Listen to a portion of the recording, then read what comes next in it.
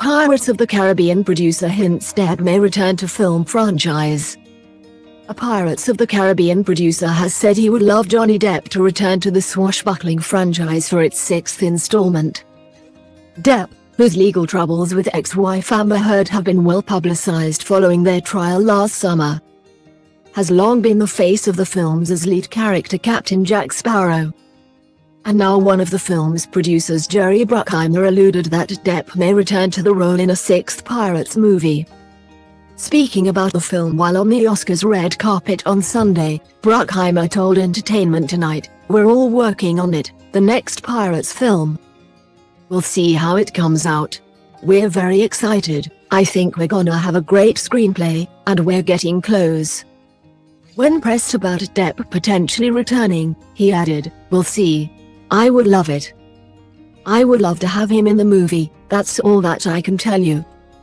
The move to include him in the next installment would not doubt surprise many after Depp's agent previously claimed that the star missed out on an £18 million, $22. 5M, fee for Pirates of the Caribbean 6 after Heard's allegations of domestic abuse. Depp claimed he was dropped as Sparrow and cancelled after Heard wrote a 2018 op-ed piece for The Washington Post, alleging she had been the victim of physical and sexual violence. Giving evidence of the former couple's libel battle, agent Jack Whigham said Depp did not appear in any studio films between December 2018 and October 2020 and funding for independent movie Minamata was almost withdrawn in light of Heard's allegations.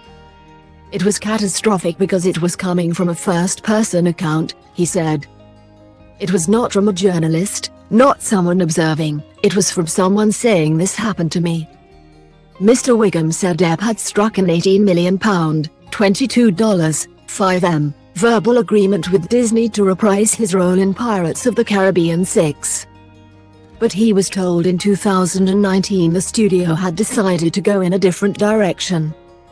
Months on from the defamation trial, which Depp won, The Sun alleged last November that the actor was scheduled to do a test shoot in February after his name was seen on a call sheet.